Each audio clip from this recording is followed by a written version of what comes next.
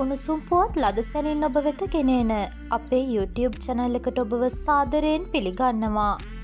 ජනතාවට සුභ පණිවිඩයක් නැවතත් ගෑස් බෙදීම හෙට සිට.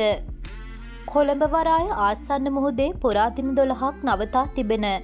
ගෑස් නෞකා දෙකින් පළමු නෞකාවේ ගෑස් ගොඩ බෑම. අද ආරම්භ කළ බව ලිට්‍රෝ ගෑස් ලංකා සමාගමේ සභහපති තෙශාර ජයසිංහ මහතා පවසනවා. අදාළ සැපයුම් සමාගමට මුදල් ගෙවීමෙන් පසුව නෞකා දෙකෙන් ශ්‍රී ලංකාවට පළමුුවෙන්ම ළඟා වූ නෞකාවේ ඇති ගෑස් මෙට්‍රික්ටොන් තුන්දහස් පන්සියක ප්‍රමාණය ගොඩබෑම ආරම්භ කළ බවත් දෛනිකව ගෘහස්ත ගෑස් සිලින්ඩර එක් ලක්ෂ විසිදහසක් සපයන බවත් සභාපතිවරයා කීය.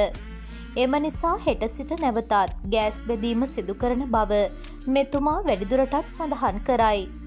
රට මුහුණදී සිටින ඩොල හිගේ හේතුවෙන් ලිට්‍රෝ සමාගමෙන් අයවර ලිපිය අලුත් ගැනීමට නොහැකිවීමෙන් නෞකා නිදහස් කර ගැනීම ප්‍රමාද වූ බවකි සභාපතිවරයා සඳහන් කළේ මුදල් ගෙවීමෙන් පසුව නය ගැටලුවක් මතු නොවූ බවත්ය.